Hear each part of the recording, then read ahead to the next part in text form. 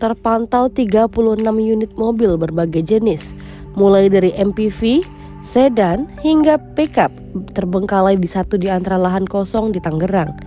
Puluhan mobil itu terlihat terparkir menumpuk, tidak beraturan, dalam kondisi sama sekali tidak terawat.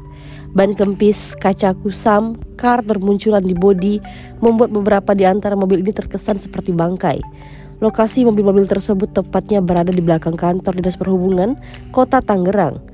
Puluhan mobil tersebut tidak terawat hingga jadi bangkai. Akhirnya tempat tersebut dijuluki sebagai kuburan mobil.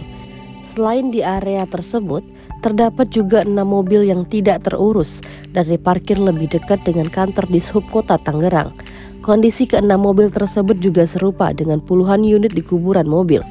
Kepala Dishub Kota Tangerang Wahyudi Iskandar menjelaskan bahwa pihaknya tidak memiliki wewenang untuk mengurus mobil-mobil tersebut sebab merupakan tanggung jawab bidang aset pemerintah Kota Tangerang.